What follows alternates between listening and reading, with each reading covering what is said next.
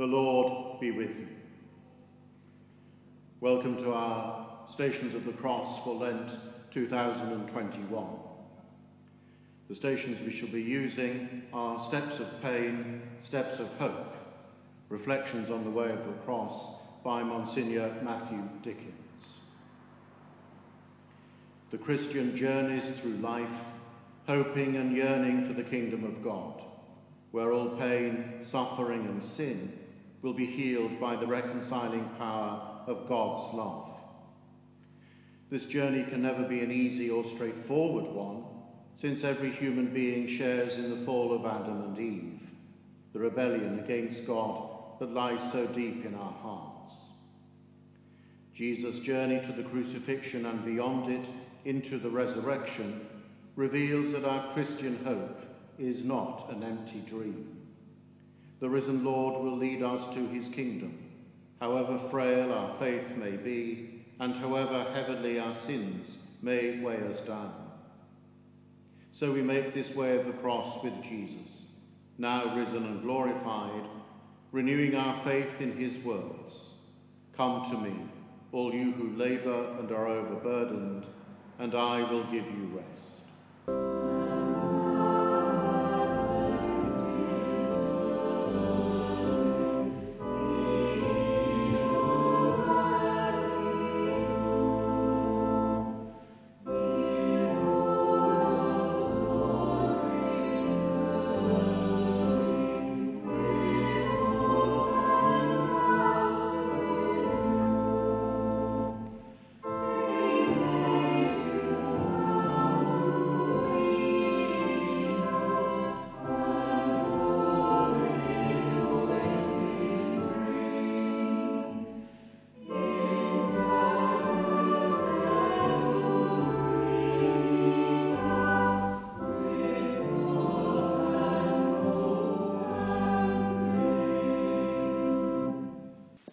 First station Jesus is condemned to death.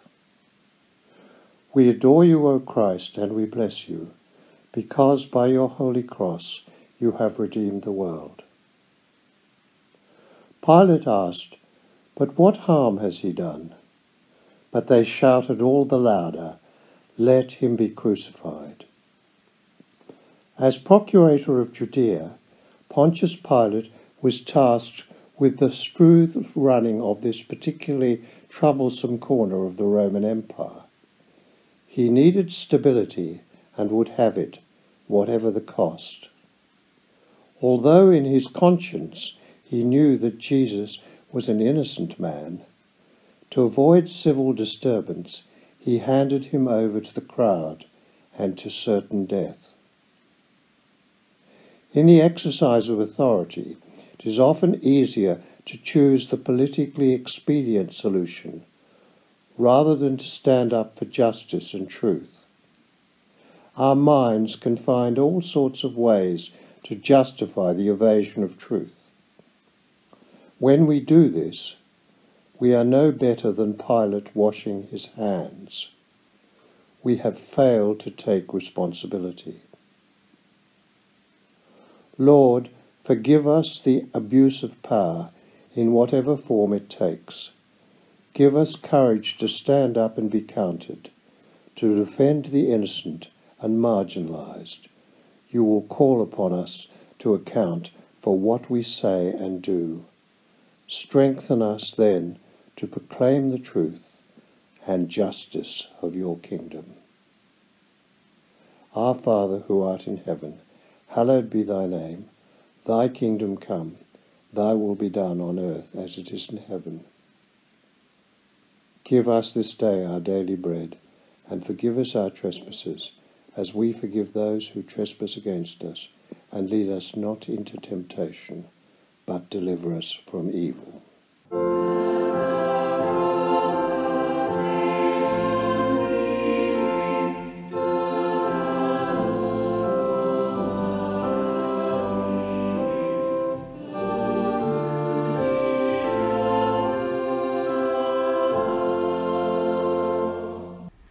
The second station Jesus takes up his cross.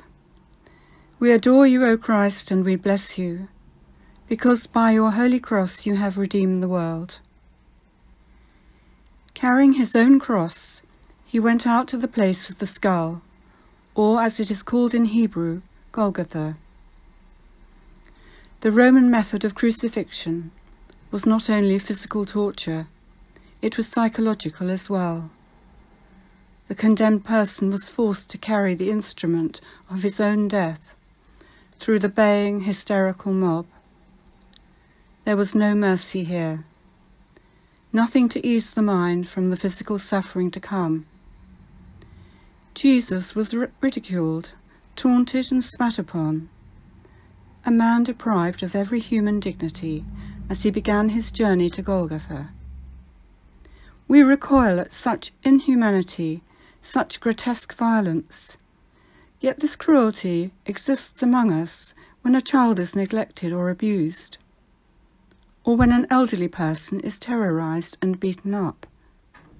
These things bring shame on our society. Lord, as we see you accept the instrument of your suffering and death, help us to understand how small our sufferings often are in comparison with yours. We cannot make this journey with you except by carrying our share of your cross.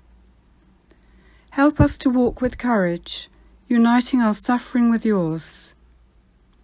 Do not let us vanish into the crowd, but strengthen us to stand and protect those who are most vulnerable.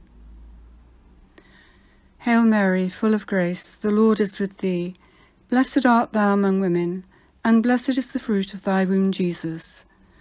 Holy Mary, Mother of God, pray for us sinners, now and at the hour of our death.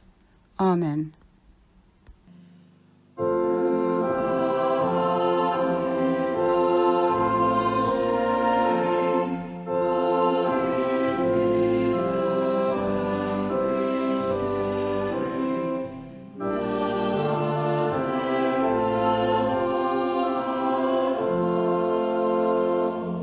The third station. Jesus falls the first time. We adore you, O Christ, and we bless you, because by your holy cross you have redeemed the world. He was so inhumanly disfigured that he no longer looked like a man. It seems that Jesus had not gone very far before falling under the weight of the cross. This is no surprise.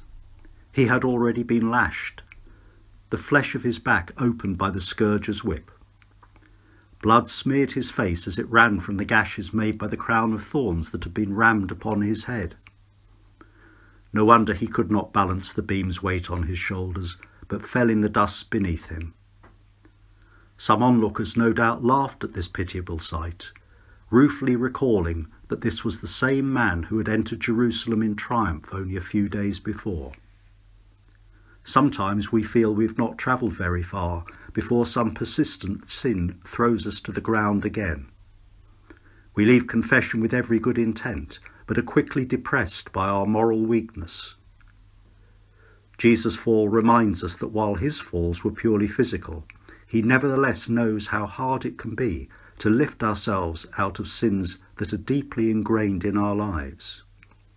We are then to find courage and hope in this fall of Jesus, and to know that while we cannot help him stand again, Jesus can help us. Lord, help me to raise myself again, even if I sin many, many times. Help me to use your sacrament of forgiveness to heal and strengthen me. Let despair not take its hold, but let your humanity encourage me to try again. Glory be to the Father, and to the Son, and to the Holy Spirit, as it was in the beginning, is now, and ever shall be, world without end. Amen.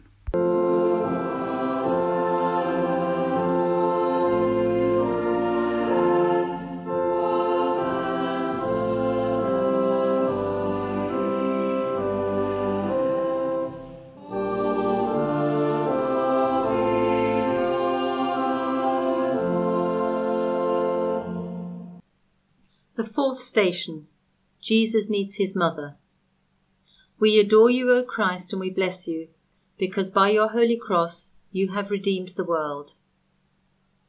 He has pulled down princes from their thrones and raised high the lowly. From the moment of the Incarnation, Mary's life had revolved around her Son.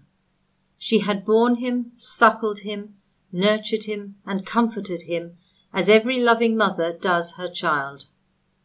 She had seen him grow into a man and had to watch as his public life led him deeper and deeper into conflict with the religious authorities. Never would she forget the words of Simeon, A sword shall pierce your heart too. How sharp that sword must have felt now as she gazed on her suffering son. We do not know if any words passed between Mary and Jesus in this moment they shared together. Language is often inadequate to express our deepest feelings, and profound love is best shared silently. All Mary's love for her son was expressed in her eyes as she looked at him, and Jesus knew that his mother would be with him to the end. Lord, I thank you for the people whose love has sustained me, especially in the darkest moments of my life. I entrust them all to your safe keeping. Help me and all your holy church to express love with or without words. Bless those whom you call to stand silently beside those who suffer, and let your healing peace flow through them. Our Father, who art in heaven, Hallowed be thy name, thy kingdom come, thy will be done on earth as it is in heaven. Give us this day our daily bread, and forgive us our trespasses, as we forgive those who trespass against us. And lead us not into temptation, but deliver us from evil. Amen.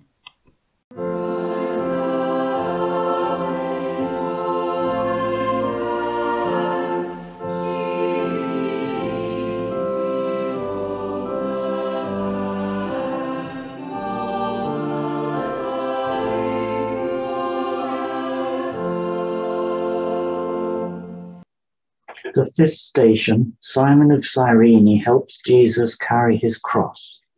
We adore you, O Christ, and we bless you, because by your holy cross you have redeemed the world.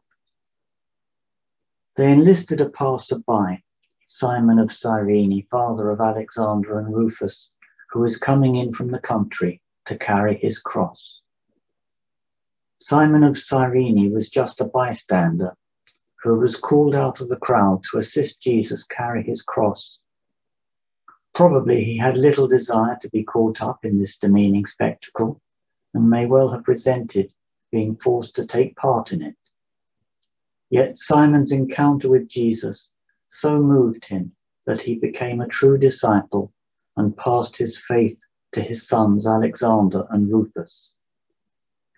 We are sometimes called to take responsibilities that we find onerous and daunting, feeling we are not up to the task. We would rather be left alone to carry on as we have always done. Change can disturb our comfort and undermine our sense of security. But we do not know what we are capable of until something we have not chosen to do is demanded of us. Then we can discover that what daunted us is in fact an opportunity to grow in faith. We discover parts of ourselves we never knew existed. Lord, when we are confronted with challenges in life that alarm or distress us, help us to see that it is in saying yes to life that we discover who we truly are. Help us to shake off our complacency and the fear of change that stunts our growth. May we seize these grace filled moments that draw us more deeply into your life and that change us forever. Hail Mary, full of grace, the Lord is with thee.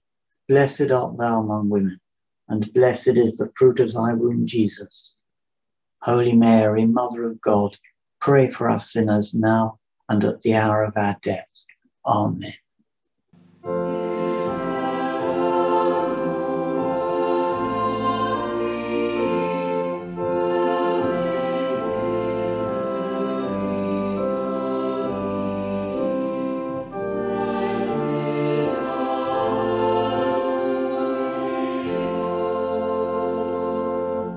The sixth station, Veronica wipes the face of Jesus. We adore you, O Christ, and we bless you, because by your holy cross you have redeemed the world.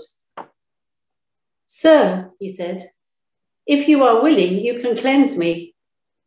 Jesus stretched out his hand and touched him, saying, I am willing, be cleansed. The name Veronica literally means true image. This refers to the tradition that when Veronica wiped our Lord's blood-stained face, his image was left on her towel. In another sense, Veronica was herself a true image of Jesus because she reached out to him in compassion and love. Her gesture was a brief moment of healing in hours of anguish and reflected the many times Jesus had reached out to others in their suffering. Each time we offer a simple gesture of compassion to another person, the image of Christ is truly imprinted in us. This is so even though our lives are distorted by sin. God knows our weakness, yet still calls us to bring his love to others through words of encouragement or a gentle touch. In this way, we can all be Veronica. Sometimes, too, we need to be humble enough to let others minister to us, to allow them to touch our wounded selves. Lord, let all Christian women and men bear the name Veronica Build up in us a love for others that will show itself in simple acts of healing and compassion, so that we do indeed reflect your face to the world. And give us the grace to accept the other love that others have for us. Glory be to the Father, and to the Son, and to the Holy Spirit, as it was in the beginning, is now, and ever shall be, world without end. Amen.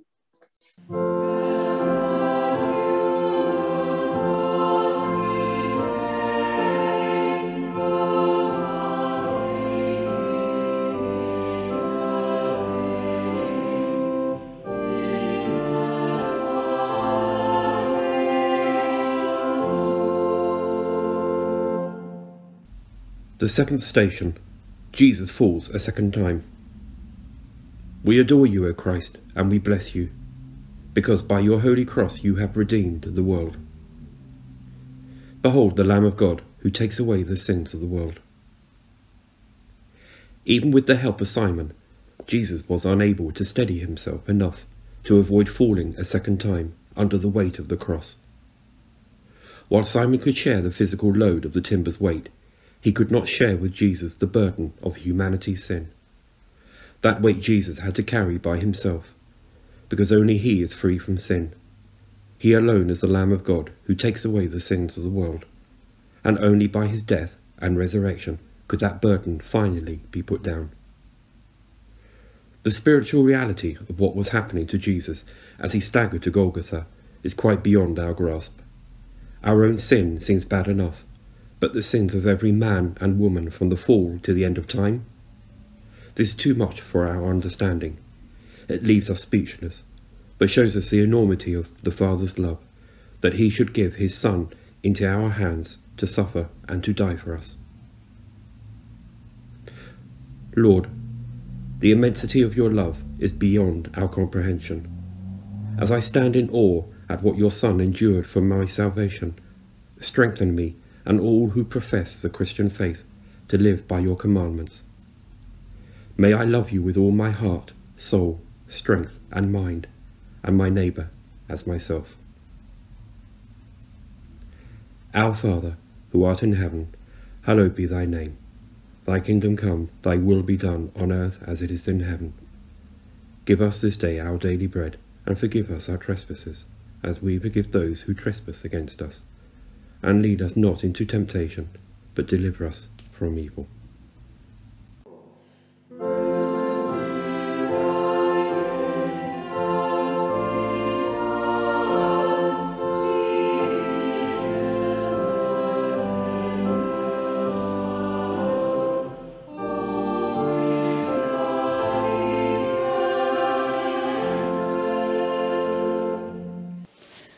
The eighth station Jesus meets the women of Jerusalem. We adore you, O Christ, and we bless you, because by your holy cross you have redeemed the world. Daughters of Jerusalem, do not weep for me, weep rather for yourselves and for your children. A group of women gathered at the roadside, weeping at the sight of the disfigured Jesus as he struggled past them. Their sorrow was real. But Jesus told them to weep not for him, but for themselves and for their children.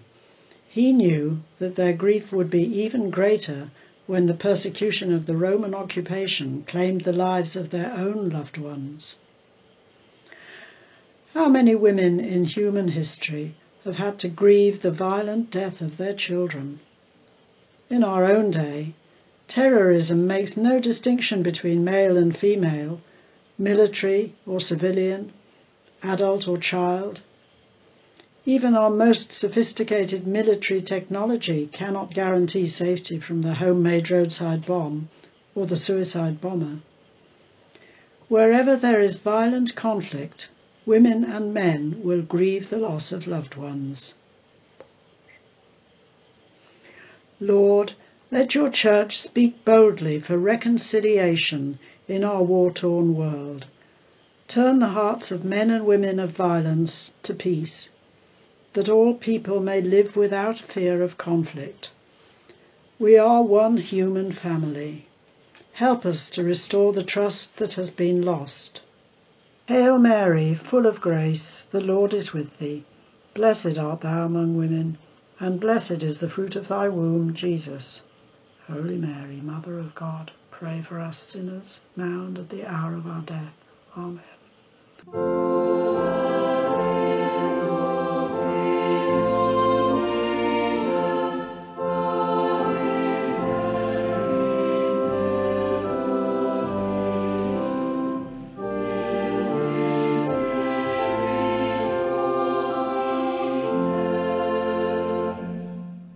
The ninth station, Jesus falls a third time.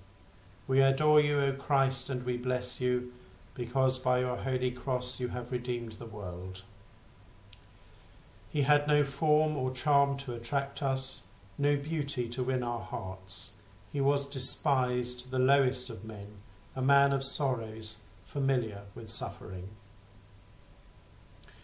As Jesus neared the place of execution, he again collapsed under the weight of the cross. His frame ached with exhaustion, but he knew the worst was still to come. It would not be long before the wood that brought him to the ground would hold him in agony above the earth. We sometimes muse on the manner of our death. Will it be a sudden end of which we know little, or a protracted ebbing away of life as disease gradually claims our bodies? Will we suffer pain or slip gently away? Will there be loved ones with us, or will we face the final mystery alone? Whatever the circumstances of our death, our Christian faith calls us to take each day as an opportunity to grow in love for God. Even the frailest person at the end of life can radiate hope and joy, somehow overcoming the indignity of illness. There is no situation which cannot be used by God to reveal something of Himself. Lord, when I approach my end, give me courage to place my trust in your mercy and forgiveness. Sustain me by the prayers of your church and give me the comfort of the sacraments, which will bring the risen Lord to me when my strength has gone. Let me know deep within my heart that you are with me, and that you too have felt your life slip from your grasp. Glory be to the Father, and to the Son, and to the Holy Spirit, as it was in the beginning, is now, and ever shall be, world without end. Amen.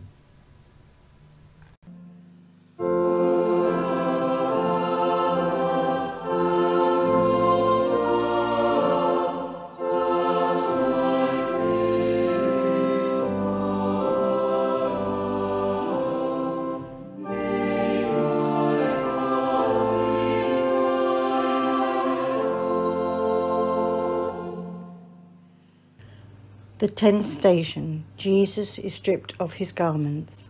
We adore you, O Christ, and we bless you, because by your holy cross you have redeemed the world. Then they crucified him and shed out his clothing, casting lots to decide what each should get. Jesus had now reached the place of his execution, and the final acts of degradation were about to take place.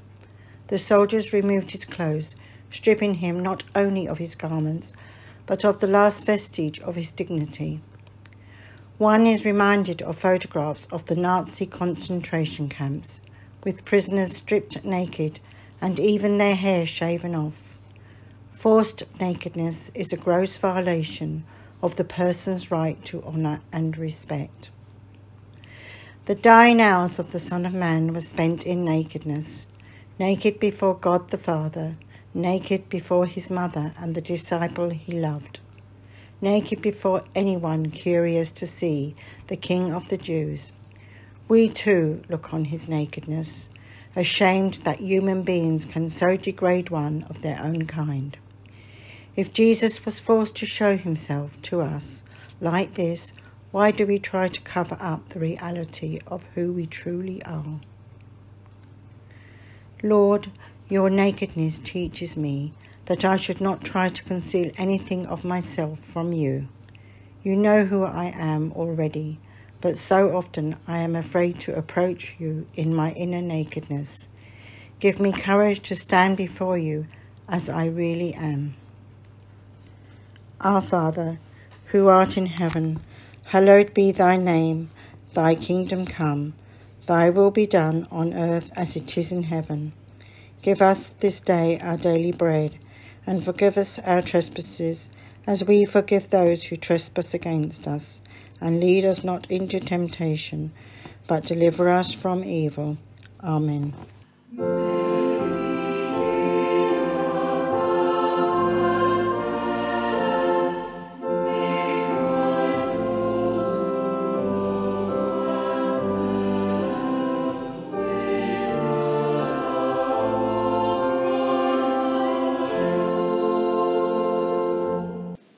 The eleventh station Jesus is nailed to the cross. We adore you, O Christ, and we bless you, because by your holy cross you have redeemed the world. When they reached the place called the skull, there they crucified him, and two criminals, one on his right, the other on his left. Jesus had been trained in the carpenter's trade. As a boy, he must have often watched Joseph hammering nails into wood, and as he learned his craft, he would become familiar with the smell and feel of timber. Now the material that had been his livelihood became the instrument of his death. Great iron spikes were driven through his hands and feet, staking him to the wooden beams. Then, pulled up by ropes, he was raised high above the ground. Torture remains commonplace in parts of the world today, used as a means of punishment or to extract information.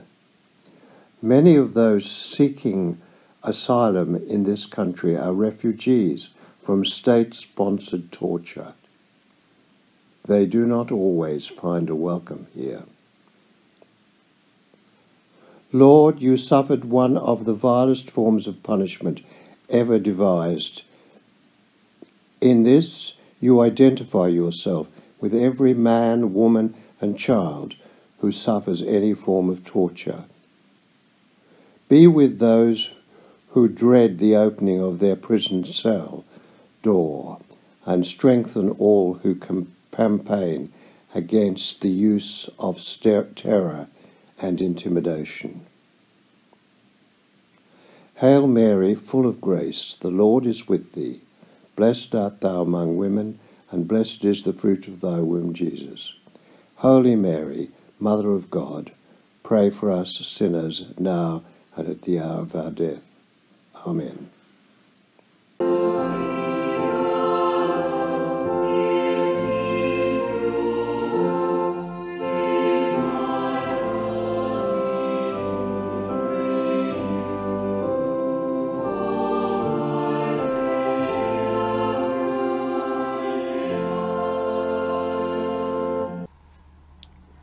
The twelfth station Jesus dies on the cross.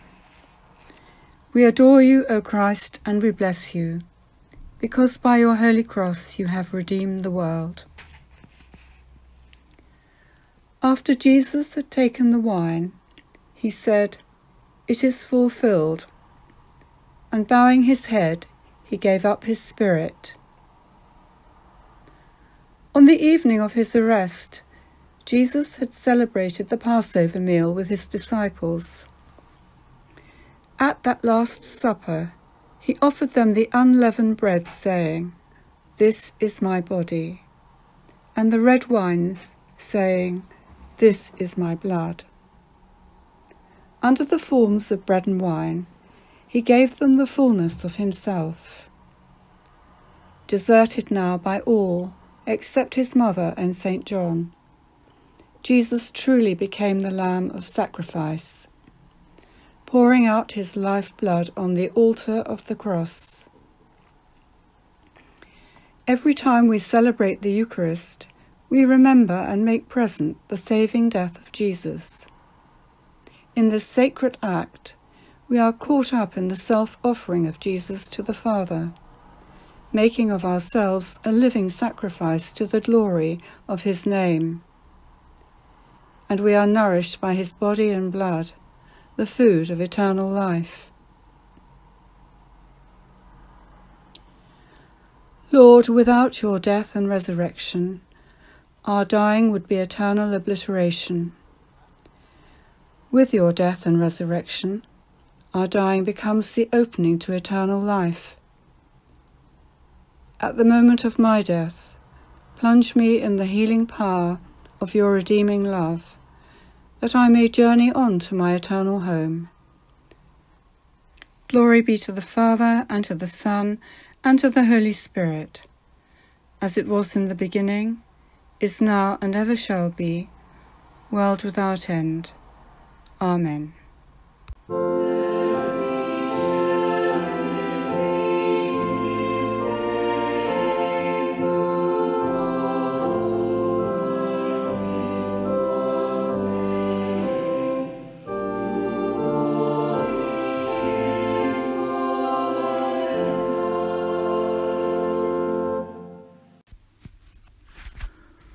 The thirteenth station Jesus is taken down from the cross. We adore you, O Christ, and we bless you, because by your holy cross you have redeemed the world. Neither death nor life, nor angels, nor principalities, nothing already in existence, and nothing still to come, nor any power, nor the heights, nor the depths, nor any created thing whatever will be able to come between us and the love of God, known to us in Christ Jesus our Lord. The Pieta, the dead body of Jesus held in his mother's arms, is one of the great images of Christian art. Often Mary is portrayed with great dignity, her depth of faith sustaining her in this moment of profound grief. Yet surely it would be no compromise of faith if, in this most human scene, Mary had felt that surge of pain that shakes our whole body with grief. Her tears and cries came not from any lack of faith, but from the utter love she had for her child. In the midst of her grief, Mary knew that somehow, somewhere, the death of her son would not be the end of his life. The promise made her by the angel that his reign would last forever could not, she knew, be broken. So she continued to believe, despite the dead weight of her son upon her lap. Lord, in the midst of despair, you call your people to believe, to trust, to hope. When the darkness of night tries to overwhelm us, remind us that the light of dawn is not far away. Help us, like Mary, to keep faith until the morning comes. Our Father who art in heaven, hallowed be thy name. Thy kingdom come, thy will be done on earth as it is in heaven. Give us this day our daily bread, and forgive us our trespasses, as we forgive those who trespass against us. and lead us not into temptation, but deliver us from evil. Amen.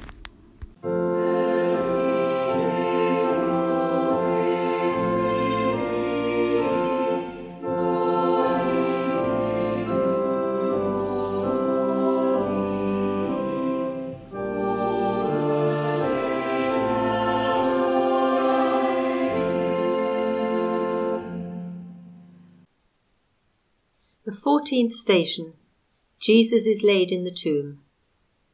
We adore you, O Christ, and we bless you, because by your holy cross you have redeemed the world.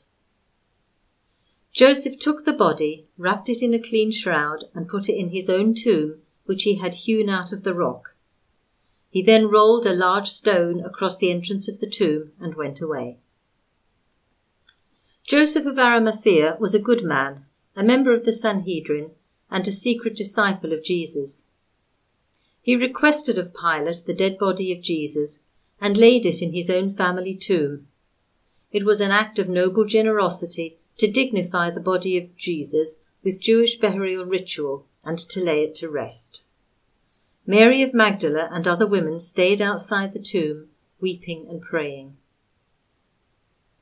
After the liturgy of Good Friday, a deep silence falls on the church. It is a time of prayerful waiting, of noiselessness anticipation before the Easter Vigil can begin. In those mysterious hours when the corpse of Jesus lay in the tomb, while the women prayed, the seed of new life was germinating, life that would overcome the power of sin and death. Lord, your Spirit moves in the depth of our hearts, unseen and unheard. Even death has been transformed by your presence, so there is nothing that you cannot touch and heal. Forgive all in me that denies your love. Reform me in the image of your Son. Hail Mary, full of grace, the Lord is with thee. Blessed art thou among women, and blessed is the fruit of thy womb, Jesus. Holy Mary, Mother of God, pray for us sinners now and at the hour of our death. Amen.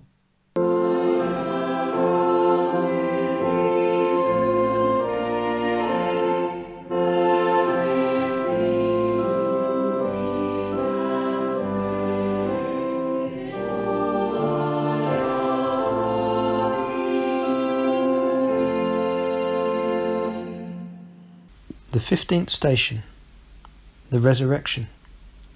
We adore you, O Christ, and we bless you. Because by your holy cross you have redeemed the world.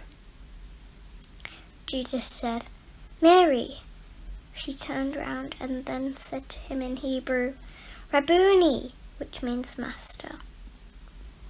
In the early hours of the third day, darkness turned to light, and death to life. The body of Jesus that had lain in death was suffused again with the power of life. Not life that would die again, but a new life that is beyond corruption and death. Still bearing the wounds of the crucifixion, Jesus spoke with Mary of Magdala, who had taken him to be the gardener. Over the next fifty days he would show himself repeatedly to the disciples, talking with them, eating with them, breaking bread with them. On Easter morning, a new wonderful reality broke upon our world. Sin and death are not triumphant, but have been vanquished by God's love. The resurrection of Jesus has broken their power, and nothing now can separate us from the love of God. The Church proclaims her greatest joy in the words of the Easter proclamation. Christ has conquered, glory fills you, darkness vanishes forever.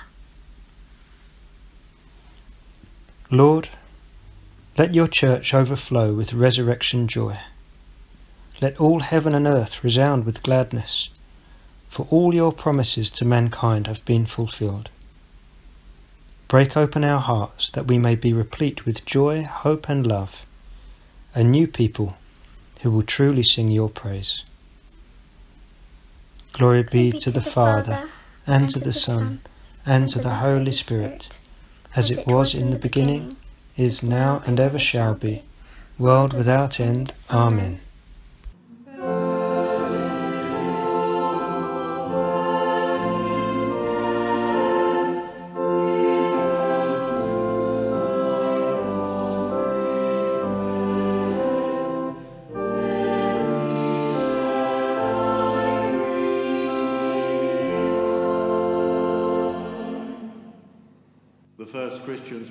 That Jesus would return in glory very soon. It was only when this did not happen that the Gospels were written down to record for succeeding generations the memories of Jesus' life, death, and resurrection. We are still living in this time of the Church, the time between the resurrection of Jesus and his second coming. We look forward in hope to the consummation of God's plan of salvation when all will be made one in Christ. Until then, Christians are to proclaim our resurrection faith and to build God's kingdom of peace and justice in this world. We must respond to the needs of our broken world because in baptism our new life in Jesus Christ has already begun. The kingdom of God is indeed among us. Making our way of the cross unites the suffering of our lives with the suffering of Jesus. He went beyond pain and death into the resurrection, and if we keep faith, we too will be led beyond sin, suffering, and death to share his new life. The resurrection of Jesus will heal us, reconcile us, and make us one in Christ. There can be no greater hope, no greater joy.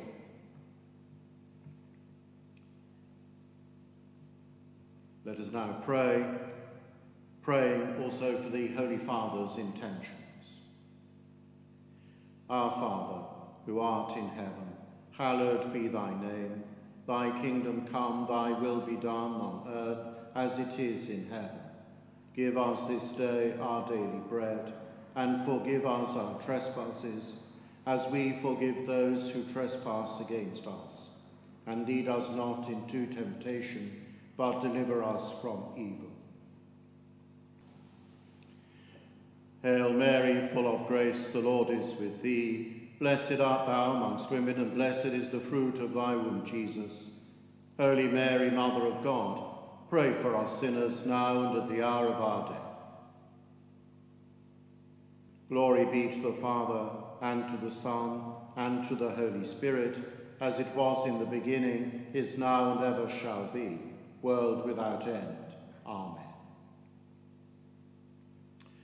Thank you for joining us in our online Stations of the Cross. The Lord be with you. May Almighty God bless you, the Father, and the Son, and the Holy Spirit. Let us now go in the peace of Christ. me.